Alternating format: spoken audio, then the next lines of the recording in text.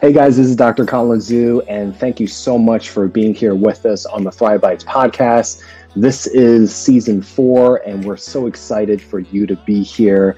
Uh, for those of you who don't know me, my name is Dr. Colin Zhu, double boarded in family and lifestyle medicine, and I interview the best and most passionate health and wellness experts of the industry on this platform. And we talk about plant powered living, emotional resilience, and creating a thriving mindset. And this season, we're taking it live, we're taking it on multiple platforms and we're taking it as a q&a discussion as well as our interviewing of our guests so we're super stoked about this and please remember to like and subscribe down below and we will see you welcome to the next episode Hello, welcome to the Thrive Bites uh, podcast. I'm your host, Dr. Colin Zhu, and thank you so much for being here with us.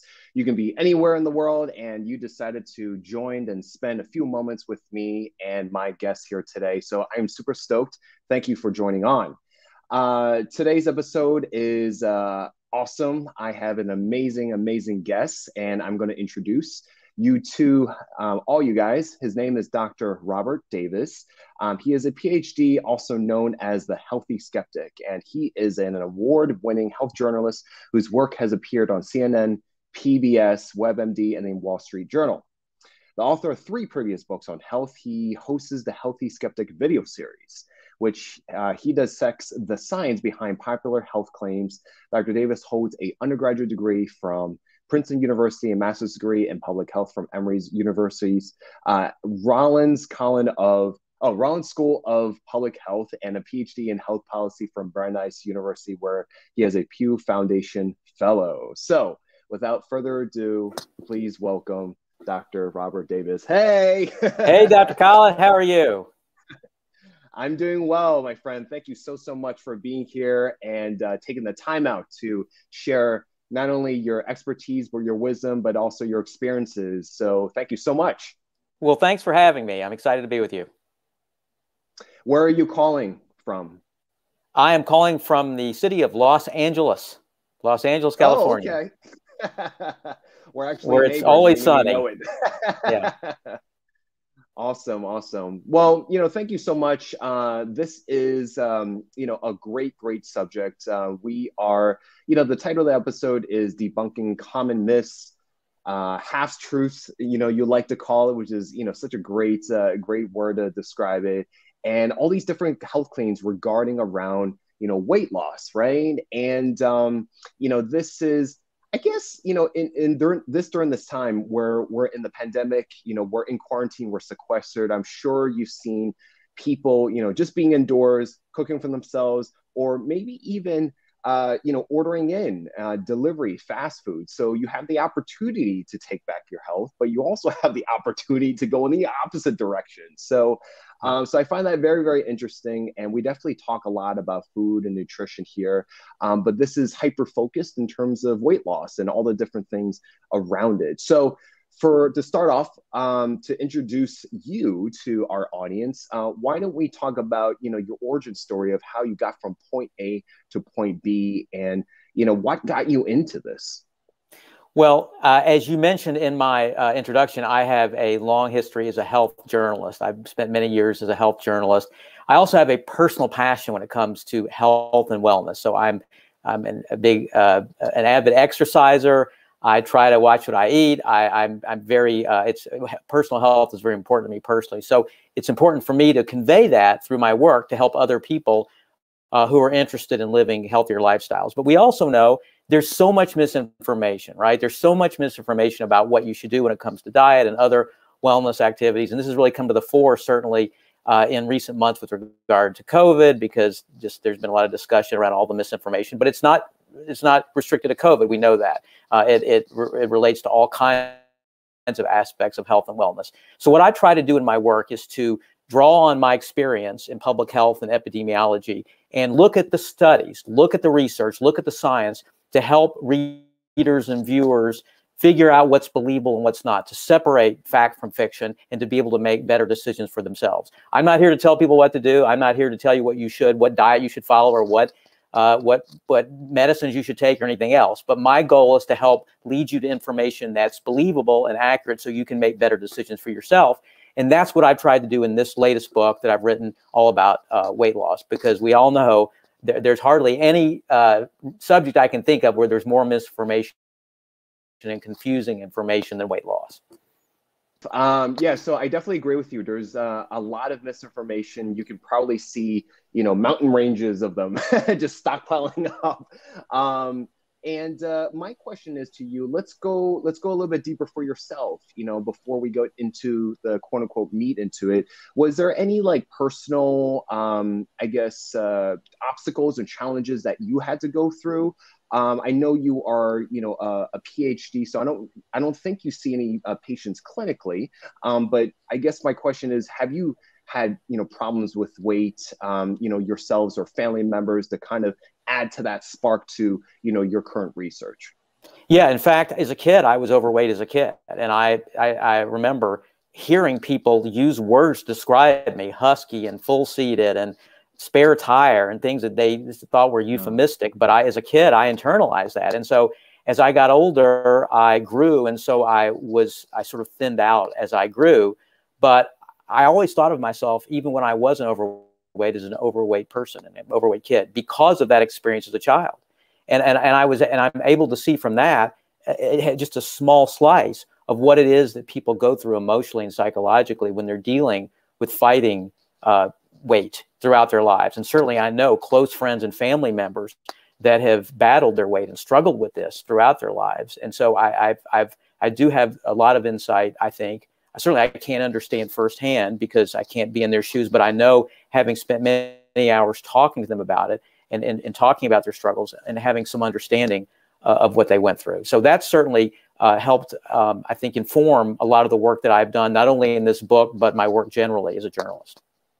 Yeah, yeah. And as well as you know, like the media and you know, just magazine counters and you know, now we have, you know, we're in the age of social media, information age, the internet, you know, things are just bombarded, you know, uh, at us constantly, you know, and um, you know, and, and in terms of the female, uh, you know, female psyche, I'm sure it's uh, you know, really, really detrimental. Um, you know, from the men, I think, you know, it would be an interesting take to kind of see, you know, what you have, uh, you know, what men kind of go through, you know, um, you know, I don't know if you've, you know, you know, maybe looked into like social trends or anything like that, but I know for as a guy, you know, um, you know, we always have to think that we have to look a certain way in terms of, you know, all these muscles up front, up top, and, you know, being in Los Angeles myself as well, you know, you look when you go on the beach and you look at these, you know, guys that are just like so top heavy and their legs are just like, you know, chicken legs. You're like, oh my God, what's going on?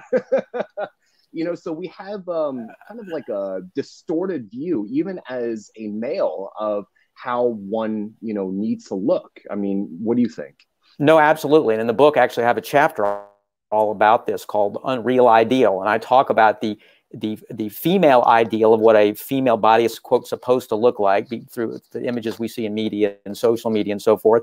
But it's also true for men. I mean men are affected in a different way but as you say men see a certain image and that affects their own self image their body image as well. And so i talk about some of the research uh, pertaining uh, to men as well as women and how this affects their perception perception of themselves and their uh, their satisfaction or lack thereof when it comes to their own weight and, and the way their mm-hmm. bodies look. Right, right. Because it's always like a bar that you always have to aim, you know, aim for, or you're comparing yourself to. So, um, so it's always, it seems like, it almost seems like a, you know, never ending journey, you know, of sorts. And, you know, um, I think, you know, uh, if you can enlighten us, you know, what kind of strategies, but before we go into that, let's start off, you know, basic, right? So in terms of you know the mountain ranges of you know just weight loss and you know the you know uh, the misinformation of it you know i think in terms of the internet age and the social media it invites a lot of uh, i guess health experts right um, to be able to kind of stand on a certain platform and to claim that they either have a quick fix or you know a new diet or you know a different way of dropping weight right so right. why do you think why do you think there's so much in terms of misinformation? Like, what is the motivation um, you know, for all this? You think? Well, a big one certainly, and this will come as no surprise. It's maybe fairly obvious, is money. Right. I mean, the weight loss industry is estimated to be worth more than sixty billion dollars annually, and a number of players in that industry um, stand to benefit from disseminating misinformation. So whether we're talking about food manufacturers who have certain quote, you know, diet friendly foods, or um, people that are selling dietary supplements, or people that are pushing diet plans, or even gyms that are saying, come sign up and lose 30 pounds in 30 days.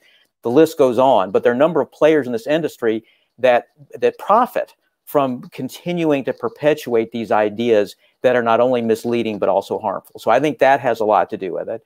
Um, I also think, and I talk about this in the book, biases, certain biases that we all have, whether lay people or uh, health professionals have certain biases. And just to give you an example, um, you know, there's something called the bandwagon effect. And that's the idea that if a bunch of people believe something, we're more likely to believe it as well. And sort of another mm. name for it might be groupthink. And so you see this with certain trends that emerge, you know, you name it, whatever it is, fasting or keto diet or whatever it is. People like, oh, well, everyone else seems to be uh, doing this diet and it seems to work for them. So I'll believe this works and I'll jump on this bandwagon as well. And so, again, we see this mm-hmm. not only among lay people, but also professionals. And then a related phenomenon to that is, is what's sometimes called the allegiance bias. And then we see a lot of this on social media and other places is where pe- people will glom onto a certain belief system, whether it's based in science or not, and stick to that no matter what. So I like to say in weight there it's a religion to many people, and there are a bunch of denominations,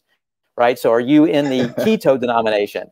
Are, are you in the fasting denomination? Are you in the detox diet denomination? The list goes on and on and on.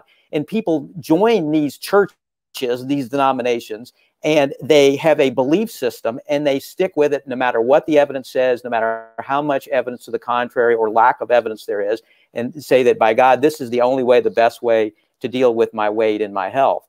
And um, and social media, you mentioned social media tend to exacerbate that because people get in echo chambers, and so they hear other like-minded people around them who reinforce these ideas, and so they they stick to them even more.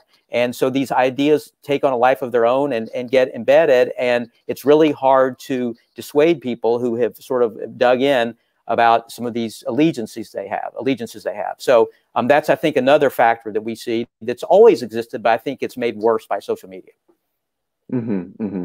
That's very interesting. I mean, you know, denominations is a great, you know, word, or just, you know, just just having people. It's almost like a man i mean i hate this i hate to use this word but like it's almost like a religion you know? It's like you have a certain way of thinking you kind of corral you know other people to you know uh, i guess reinforce your own belief systems and then you know the more the more the merrier. But just in this case like you know the more the merrier but you know those belief systems um, may not be as healthy for you know for you. So you know for example like i you know i see patients clinically and you know i you know i you know we run the gamut of you know patients who are true you know carnivores to extreme vegans and i do family medicine and i see everyone in between.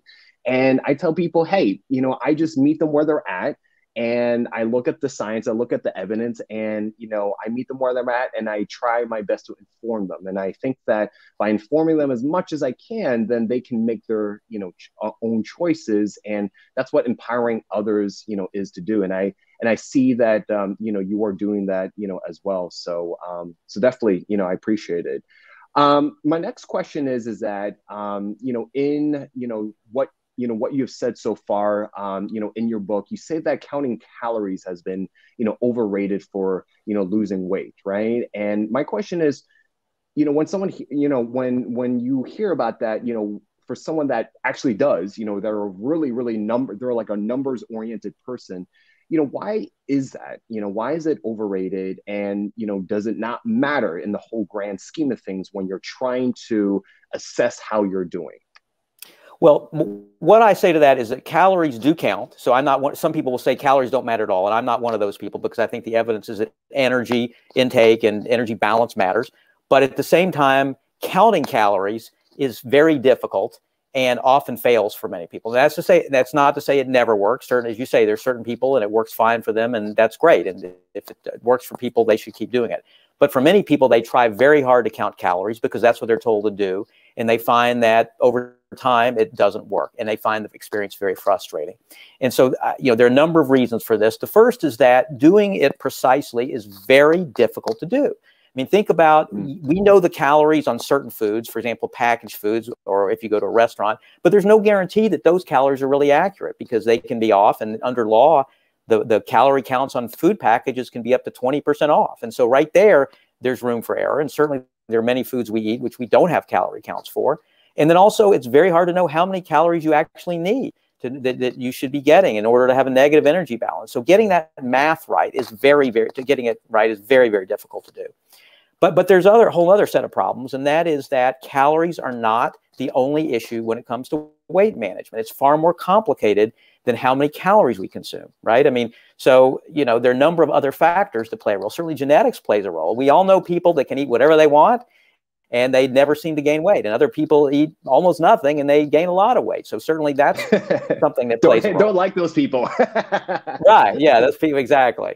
Um, and, and, and science, for example, is emerging. To give you another example of how our, our gut bacteria, our so-called microbiome, may play a role in how many of the calories that we consume that are actually absorbed. And that may vary from person to person based on the mix of microbes in your gut. Now, that's that science is still emerging, and there's a lot more work to be done. But it's an interesting line of research that suggests another variable that may be important. And then certainly there's just how our metabolisms work as we cut calories, as we lose weight, our bodies fight us. Our metabolism slows down and essentially makes our bodies more fuel efficient. So that as we consume the same number of calories, uh, those cal it's you, you have to keep consuming fewer and fewer calories in order to keep losing weight because our bodies are using fewer calories.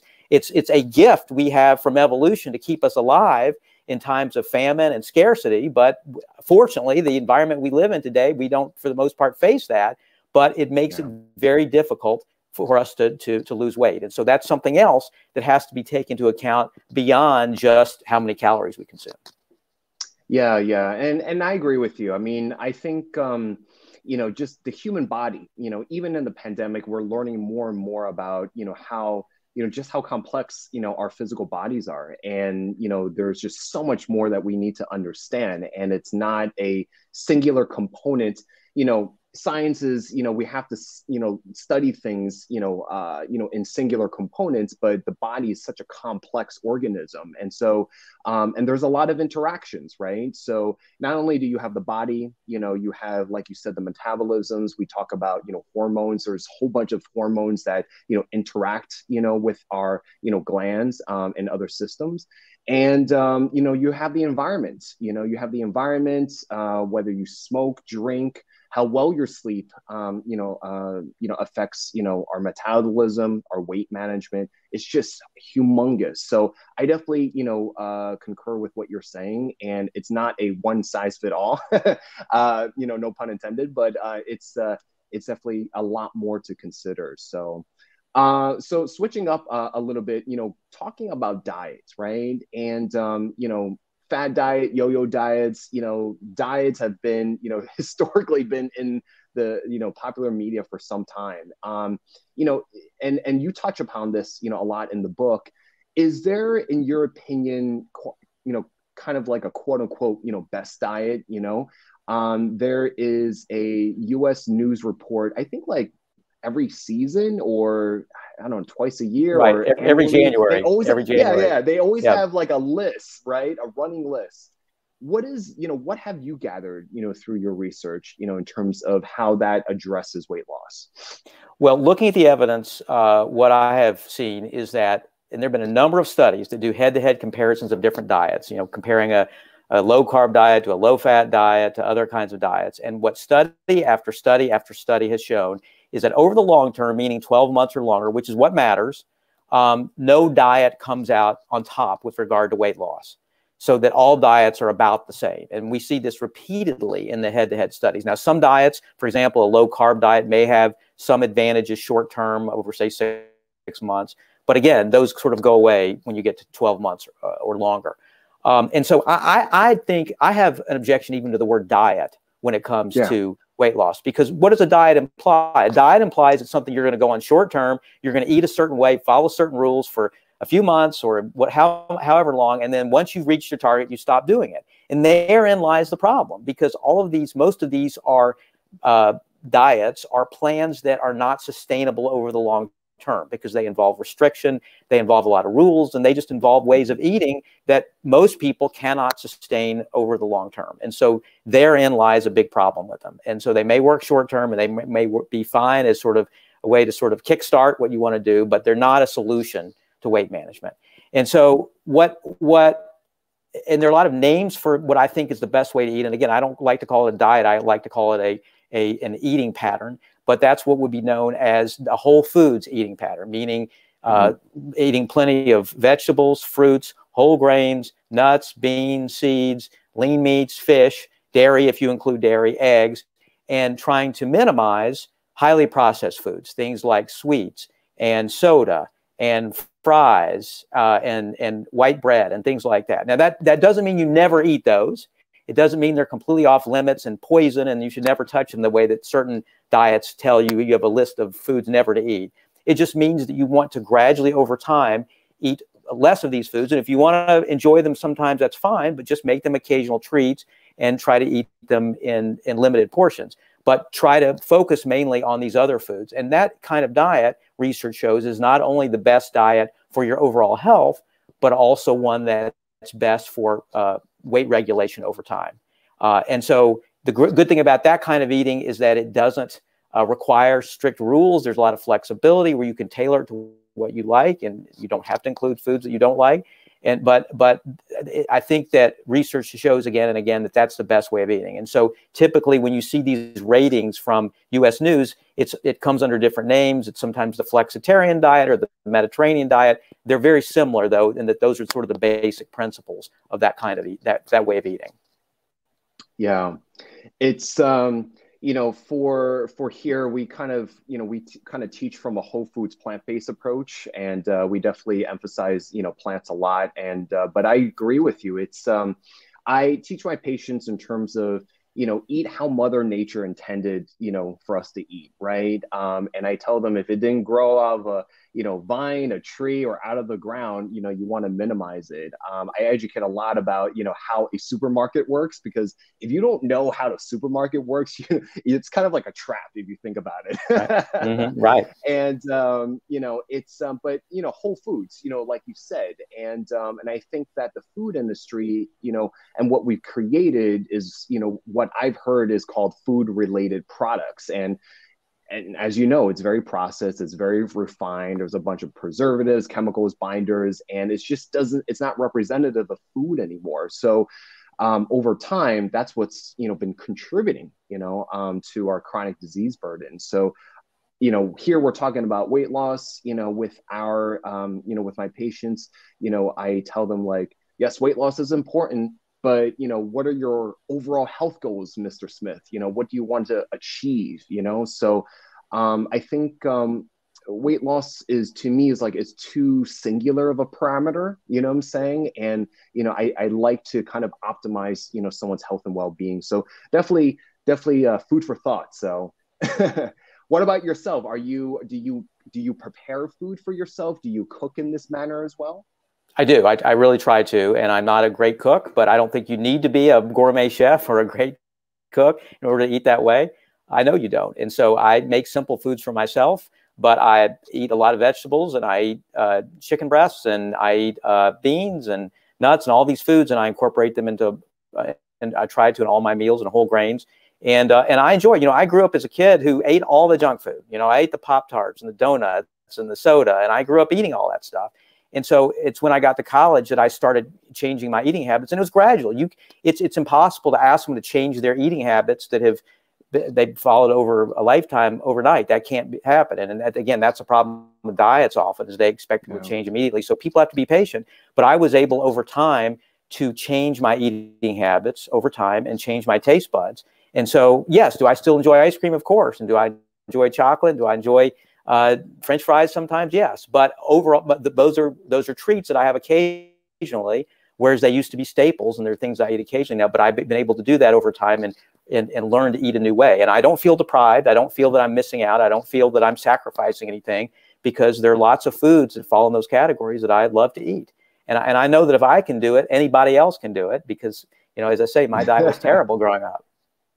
Yeah, definitely. And um, I personally don't say this a lot, but like growing up, um, you know, we we lived off of like Pizza Hut and McDonald's and you know all the good stuff. I'm a I, I'm a huge pizza lover, you know. So I used to drink.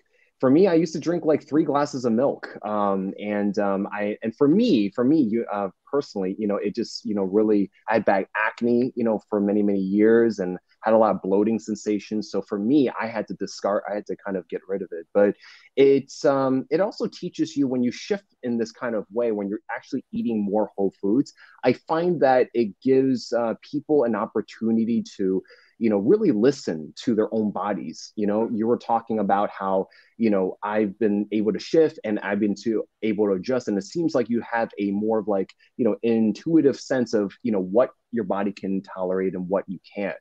And um, I find this with my patients where, you know, if they've been living off of more, um, you know, the standard American diet where it's just more refined and processed, you know, it's uh, your body cues are not as strong. I find it, you know, um, you know, that's just from my observations with my uh, patients. And, um, you know, when you're shifting, you're able to say like, wow, I'm more sensitive to, you know, just crap, you know, when I eat it from time to time. So I don't know if you, you feel that from time to time. No, absolutely. And and I've certainly found that to be the case with me. And, and I think part of that is, and we could spend a whole nother hour talking about this, is the way those foods are designed to make, make us uh, enjoy them that way, to make us consume yeah. them quickly and to crave them more. And because that's that's that's inherent in the way that they're designed. And yeah. uh, and and so that's why that bag of chips tastes really good and we want to keep eating them. But it, it also, as you say, cuts us off from really being able to feel how our body's responding. Yeah, exactly. I mean, these. I mean, you think if you think about it, these food companies have you know deep pockets, and they'll hire the best you know food scientists and chemists to chemically manipulate you know our taste buds because they know that our taste buds um, and our palate can be so.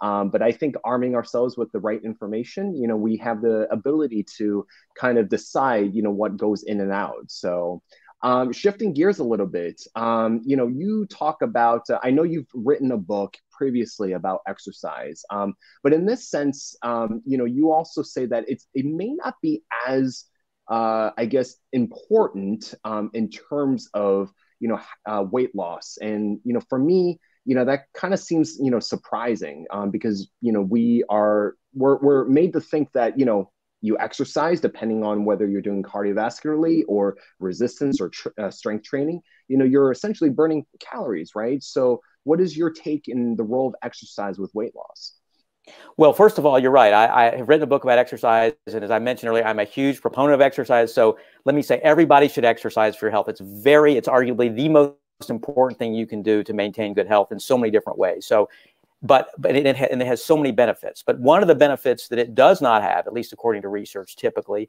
is helping people lose weight, and that's ironic because that's often the reason people will say the number one reason they exercise is to lose weight. So we're expecting it to do something. It can do all these amazing things for us, but the one thing that off, people often expect it to do most is one thing it's not so good at doing.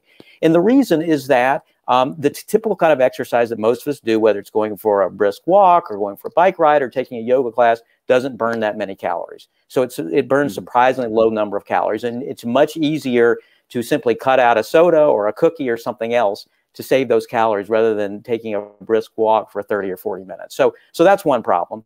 But even when people exercise vigorously, we're talking in order to really dent, put a dent in your weight, say burning 500 calories five or six days a week. That's that's a lot of exercise. That's vigorous exercise or prolonged exercise when people are even when people are able to do that again we talked earlier about how the body responds the body compensates in certain ways to fight you so appetite will increase often once when people are exercising very vigorously that'll counter what's happening so they'll end up eating more uh, the, your metabolism slows down just as when you and this is surprising to people just as when you cut calories and lose weight um, if you exercise and lose weight if you're exercising very vigorously your metabolism will slow too And so that is another way that the body it, it will make it harder for you to continue losing weight with exercise. So so that those are the negative things, but I should also say there's some positive things. So there's some research that shows, and actually a good amount of research that shows that while exercise may not help you lose weight, it can be very important in helping you maintain weight loss. And that's where exercise is mm. crucial when it comes to weight.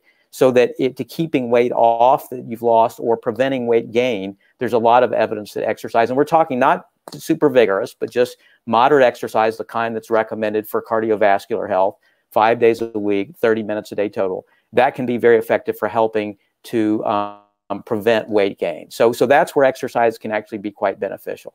Um, so again, I think it's important for people to exercise, but they should go in with the right expectations. And if they do that, then they won't come out disappointed and give up on exercise. Say, well, I, I went into it, I'm not losing weight, so I'm going to stop exercising. Because that's that's the worst outcome of all. And and I know that happens mm. sometimes.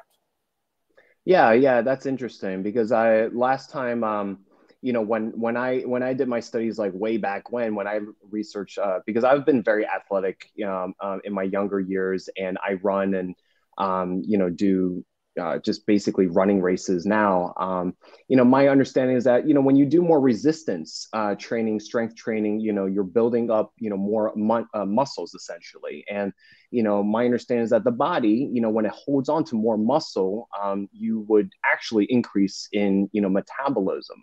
Um, and actually essentially burn calories. So does the research, you know, find that it's, you know, not so much or, you know, um, like what, what, what have you uh, found in terms of like building muscle per se? Because the right. exercise that you cited was more i guess lower impact i guess brisk walking yoga um, you know bike ride they're, they're more like cardiovascular type of exercises. What about in terms of like strength uh, strength training? Well the research shows that strength training uh, both strength training and cardio can be effective to help uh, maintain weight loss. And if you do a lot of both to help promote weight loss. But your point is a good one when it comes to actually the role of muscle and building muscle. And that obviously we know that uh, you know muscle burns more fat burns more calories than mm-hmm. fat does. But i mean i think the key there is for the average person the amount of muscle they're going to put on by lifting weights is not large enough to make a huge dent. At least that's what the research has shown now obviously we're all different. Mm. genetically we're different in terms of how much muscle we're going to put on if we go to the gym and lift weights. Some people may put on a lot of weight a lot of muscle. Some people may less. Depends on genetics age a lot of things. But for the average person they probably are not going to increase their muscle mass significantly enough to have a huge impact on calorie burning. But but again, mm-hmm. Uh, there are plenty of benefits, and, and, and it's important to incorporate weight training. Very important to incorporate yeah. weight training just to preserve muscle mass because we lose muscle mass as we get older. So that's a key part of any kind of exercise program to incorporate that. Oh yeah, for sure. And uh, it doesn't sound like you're trying to discourage. It's just saying that the research is saying like, hey, it may not be like you know the first thing you're thinking of. Like when you're saying that everyone you know starts off their new year's resolutions at a gym you know the whole goal is to lose weight weight right? But it's uh, you know research is saying it's you know more you know maintaining you know the weight loss that you've already had. So um, because it is important because you're exercising your heart um, you're maintaining you know musculature. And as we age you know we have to be able to you know have good uh, balance and agility and just be able to you know just falls in general. There's a lot of complications from just falls from our elderly population. And like you said we have a lot of muscle atrophy as we um, you know and you know volume atrophy as we like actually you know age. So it's super and super important. So what do you uh, what do you personally uh, uh, what's your mode of exercise for yourself? I do a combination. So i do i'm a runner. So i run several days a week. I do some high intensity interval training. So sprints i incorporate that. I also go to the gym and lift weights a few days a week and do sort of boot camp things so, so sort of uh, you know to get my heart rate up as well. So I kind of do a combination of things because again I, I like to do that, and also my uh, you know review of the research suggests to me that a combination is good, and it just keeps it interesting with a lot of different things, so it doesn't get boring. Of course, that's awesome. So we're going to take a quick commercial break, and then uh, when we come back, uh, we will close out and uh, answer any final questions. For those that are watching, if you have any questions and you want to ask Dr. Davis uh, live on this session, please type in your questions, and uh, we'll ask them live. So, and we'll be right back.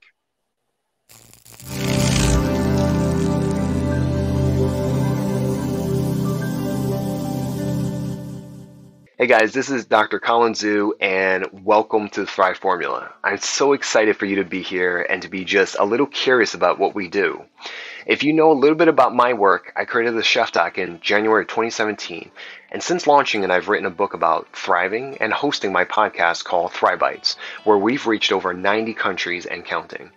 It's been a humbling and unexpected experience so far. The main driving force to create the Chef Doc was born out of the need to help others to combat chronic lifestyle related diseases such as high blood pressure, heart disease, diabetes, inactive physical lifestyle, and simply not being able to cook healthfully. I noticed the same paucity and deficit within our medical school education and also within our medical training across the nation. 2020 for us, like the rest of the world, gave us a new set of challenges. Even with health disparities and racial injustice, I decided to look at things from a very silver lining perspective. And that meant how do we become more resilient as a community? How do we pivot as a human species? Do I focus on me or us? With so many different people and different walks of life, I realized that we're more similar than dissimilar. And to cultivate a thriving mindset meant a lot of self work, self education, and practical tools, but also in conjunction with other people. I could not be where I am without the support and foundation of others. That means right now, more than ever, we need to be unified and we need to thrive together. Therefore, I decided to create this virtual summit experience gathering and collaborating with over 45 speakers from different parts of the health and wellness industry to inspire, educate, and teach you the tools to thrive, not just in your own life, but also to those around you. And we will do this through the five pillars, what I like to call my five to thrive. Food as medicine, functional fitness, relationships, community, and resilience. I'm beyond ecstatic for you to be here, and the only question I would ask is do you dare to choose to thrive in your own life? If you do, then come on in, let's learn together, and I'll see you inside. Thank you very much.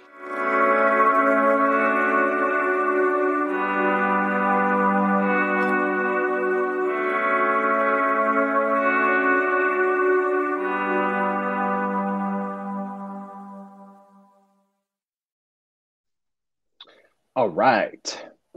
So let's uh, shift gears a little bit. Um, now, uh, a lot of the popular, you know, media nowadays are, you know, promoting and, you know, really showcasing about fasting or restrictive uh, eating, and that's been evolving in the literature and popular media. And uh, you know, take for example intermittent fasting. Um, in your opinion, you know, does it work with weight loss and you know what have you found in the literature what i well first of all anecdotally we know we all know certainly i know people that swear by it that say it works for them and that's great and i think as with anything if it works for you great because we know that everybody's different. But if you look at the research what it shows is that uh, intermittent fasting diets and we know there are different ways of doing it. You know you can do the 5-2 diet or you can do every other day or you can do restrictive time feeding uh, so forth. But in general um, uh, what it shows is that uh, intermittent fasting does result in weight loss. But, and here's the big but, uh, it's no greater weight loss than standard calorie cutting diets. So mm-hmm. it's not as though it's some kind of magic solution that's better than the usual approach. And there's one other caveat. There's some research that actually suggests that intermittent fasting results in greater muscle loss than a standard calorie cutting diet, which is for reasons we discussed earlier, is a bad thing. You know, you want to lose fat, but you don't want to lose muscle when you're mm-hmm. dieting mm-hmm. or when you're trying to lose weight for because you want to preserve muscle. So that's a that's a concerning thing about intermittent fasting. And then w- the other thing is we just we don't have studies over the long term to know how sustainable intermittent fasting diet is or whether it works over say a year or two years or longer. There's very little research on that. So um, you know, I think again, it's an example of if people find find that they can go for long periods without eating. And I certainly can. And I know many people that couldn't do that. But if that works for you, that's fine. But I think it shouldn't, and too often, though, it's held up as some kind of magic solution that's better than anything else. And the, the, the research certainly doesn't show that to be the case.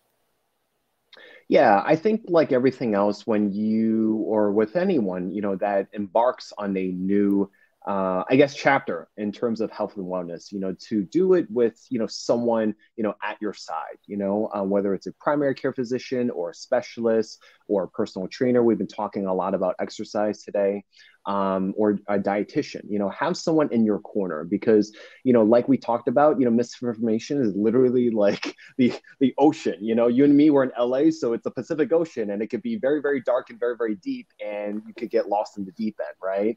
Um, so it's it's definitely important to have someone in your corner and uh, you know i i personally practice you know uh, intermittent fasting. Um, i think it's great. Um, and i think it's you know definitely you know the way i think about it is it's restricting the you know time frame that you're actually you know eating. So um, you know because if you take if you take the word breakfast you know what what what, what are we doing? We're actually breaking fast. So inherently we're all, we're actually you know fasting just not as long you know? And um, you know regimens uh, there's so many different kind of regimens like you said uh, but definitely super important to you know uh, get all the basics down you know? So um, but yeah well, thank you for for answering and, and if, if i may just one thing to add to that um, certainly there is good evidence, and I assume I'm sure you could spend a long time talking about this longer, is is to the benefits it may have outside of weight with regard to health. So oh, fasting yeah. diets and oh, yeah. animals. So that's I think it's a whole nother reason why some people engage in fasting diets because there's actually a lot of good evidence in it from animal studies that it can help those animals live longer and have experienced fewer uh, chronic diseases and uh, yeah. and so there there could be a number of, of health benefits. Um, so I think that's a whole separate reason that some people might follow uh, and do follow fasting diets. Yeah, yeah, definitely. In regards to like you know uh, chronic inflammation, um, um, uh, autophagy, the person that you know, I forget the guy's Japanese. He's a biochemist. He won a Nobel Prize for this. it's his research with autophagy, and uh, you know, and, and, it's involved with uh, fasting. Uh, but it's kind of like spring cleaning, you know, for your cells. You know, just you know, basically decluttering you know when your body goes into like a fasting mode. But again that's a whole separate another you know session um, you know so we can definitely talk about that. Um, so i definitely want to close out and uh, you know not uh, so with everything that we've gone through you know in terms of you know what you've looked at you know and you looked at uh, you know in terms of uh, literature you looked at popular media you looked at the you know the evidence and stuff like that does it seem like kind of like an uphill battle, you know, um, that it's insurmountable, that, you know, we can't get ourselves to a more stable weight. Um, you know, in from the medical perspective, you know, we want people in a normal BMI, you know, instead of the overweight or obese categories. But we, you know, even though the body mass index, the BMI, is not really the best accurate measure, you know, we also measure, you know, different things like height and weight and body fat, uh, body fat percentage and things like that. But you know, just with all that, you know, do you feel like it's an uphill battle? You know, is this something that we can't really conquer at the end of the day because it doesn't seem like the media is ever going to stop talking about it, right? Or people are not going to make these so-called health claims or you know half truths. Yeah, well, I, I, think you know the way that I like to think of it, it, it is certainly a difficult battle, but it's not an impossible battle, and and I think that that's an important message for people to get is not to get discouraged. Because there are reasons there are plenty of reasons people can and do to get discouraged. Obviously there are so many people that try and fail and try and fail and try different diets and weight cycle and they're up against um, you know all, all kinds of misinformation. They're up against psychology. They're up against biology. They're up mm-hmm. against um, people peddling all kinds of things to be promising that are going to work that don't. So that makes it difficult. But this is the way that i like to think of it I think that if you can, uh, number one, get information that's science based and accurate, the kind of information, at least that I'm trying to lay out, apply that in a way that works for you, number one. And then number two, have ex- the right expectations. So the right information, the right expectations. And the expectations are crucial because if you come in and believe some claim that you're going to lose, you know, 50 pounds in 30 days, that's that's very misleading. And then it doesn't happen, you blame yourself, or that some some mm-hmm. other outcome is going to occur and it doesn't happen and you blame yourself that's a big problem. And so you need to go in with with realistic expectations about what can and can't be done about not only how the weight's going to come off how much is going to come off but what's a realistic weight for you and what's a healthy weight for you right? I mean mm-hmm. what what you weighed 30 or 40 years ago or your lowest weight in college may not be the healthiest or most realistic or best weight for you now And so I think people also need to get to understand and, and get realistic expectations. And I think if they can match good information with realistic expectations, then this battle is certainly winnable. And there are plenty of examples of people that have won the battle. But I think those yeah. two components are essential. Yeah, yeah. No, that's that's awesome. That that that was actually beautiful because uh, you know it's uh, not only is arming yourself with the right education, information, and tools, but you know it's like what is what is right for you? Because at the end of the day, it's like weight loss is so much it's very mental and it's very psychological which is something that we didn't really go deep deep on. And uh, it's uh, it can be very detrimental. Mental health is already um, a huge uh, issue that the, the pandemic has you know brought to the surface right? So when you add to that you know people just like stress eating emotionally eating and then they're constantly you know comparing themselves like you said to your previous self or another family member or a friend or a billboard you know? It could be you know very very dam- uh, damaging. So um, I definitely would definitely add to saying like, you know, what is true for you, what is right for you, and you know, it's you know, what is healthy at the end of the day. I, I think um, you and I would both agree that you know, at the end of the day, it's all about optimal health, and um, if weight loss, you know, fits in that picture, then you know, then definitely, you know, it's uh, it's it's a surefire thing. So. Um, Dr. Davis, thank you so, so much for being here with us on the show. Um, how do people find uh, you and where can they get your upcoming book? So they can find me at my website, healthyskeptic.com. And there I have information about myself and I have a bunch of videos I've produced on a lot of these topics that you can watch. I invite you to watch. And the book, you can order the book from there or you can go onto Amazon. The book is available, will, will be available there uh, for order, but it's available for pre order now. Uh, Supersized Lies is the title. I definitely, uh, you know, definitely go and get it. So, you know, um, what is the date for the release? Uh, September 21st. Okay. This year. This year. Correct. All right. All right. Well, you guys heard it. Definitely uh, pre-order your copy, and you know, just to learn more. And uh, Dr. Davis has done an incredible amount of work. Um, you know, putting into it. So he could give he just literally spoon feed you the right information. So uh, dr david thank you so so much for being here with us on the show. And uh, you know definitely um, you know big ups and kudos to your contributions um, upcoming. So we greatly appreciate it. Thank you dr colin. It's been a great pleasure talking to you Guys, thank you so much for watching this session. Please find us uh, here every week live um, um, on Thrivebites uh, podcast at 5 p.m. Uh, every Wednesday. And please say goodbye to Dr. Robert Davis.